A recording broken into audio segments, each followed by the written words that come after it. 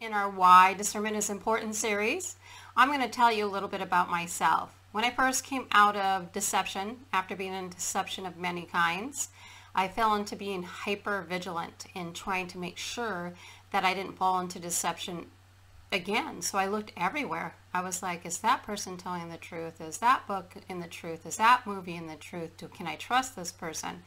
And so I became really hyper vigilant to make sure that I didn't fall into the same type of deception or any other deception that was out there. So I was really in the Word of God, studying the Word of God. Now that I've been out for seven years, I've learned to look at more of a big picture of deception. What is something that is necessary to bring up when warning? What is something that doesn't need to be brought up?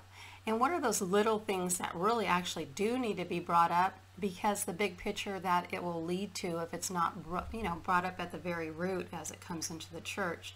So using great wisdom in these days to understand what needs to be brought up and how can I bring it up in a loving way and to pray about those things before you would ever bring it to somebody's attention. I think that's one of the key thing about discernment is when it is used wrongly and when it is used with wisdom. And it's just a learning process for anybody that's been in discernment, called out of, you know, called out of um, many different deceptions, set aside, was able to see, looking back, how it happened and how to be able to warn people going forward.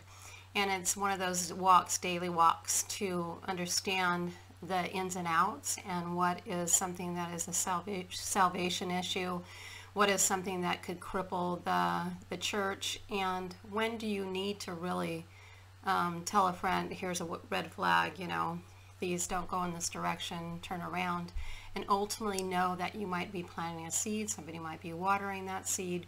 We don't know the outcome, but the warning is set forth because we love people. And that's what it should always be about. Your love to speak forth the truth and set forth warnings in these days, even if it costs you something.